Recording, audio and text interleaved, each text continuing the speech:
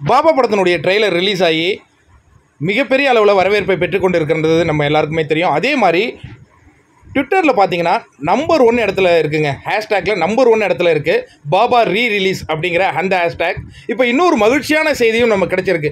Lyca production அவங்க ஒரு tweet பண்ணியிருக்காங்க.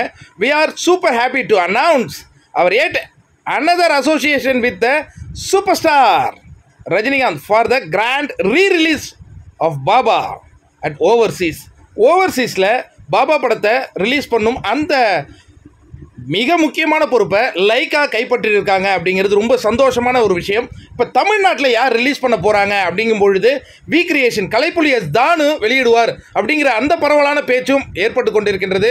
தானு அதை கைப்பற்றிட்டார்னா பயங்கரமான ஒரு ஹைப் ஏற்படுத்துவார் ப்ரொமோஷன் கொடுப்பாருங்கிறதுல எந்த வித மாற்று இனி நடப்பது அனைத்தும் நல்லது வைக்கே அப்படிங்கிற மாதிரி தான் ஆனால் இந்த ட்ரெய்லர் வெளியானதுலேருந்து ஒரு விஷயம் மட்டும் சூப்பர் ஸ்டார் ரஜினிகாந்த் அவர்கள் ரசிகர்கள்ட்ட ஒரு மிகப்பெரிய அளவில் விவாதத்துக்கு இருக்குது அது சந்தோஷமாகவும் மகிழ்ச்சியாகவும் அந்த விஷயத்தை தான் சொல்லிட்டு இருக்காங்க. அது எந்த விஷயம் அப்படின்னா கதம் கதம். கதம் கதம்னா நம்ம எல்லாருக்குமே தெரியும். முடிந்தது முடிந்தது.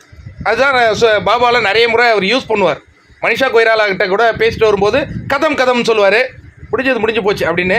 ஆனால் இந்த ட்ரைலரில் அந்த கதம் கதம் அந்த டைமில் ஐ எம் கம்மிங் அப்படிங்கிற விஷய விஷயத்தை சூப்பர் ஸ்டார் ரஜினிகாந்த் அவர்களுடைய வாய்ஸ்லேருந்தே ஒழிக்குது இதெல்லாம் நல்ல ஒரு சூப்பரான மொமெண்ட் நீங்கள் எப்படி பார்க்குறீங்க லைக்கா அடுத்த association with super star Rajinikanth அவர்கள்.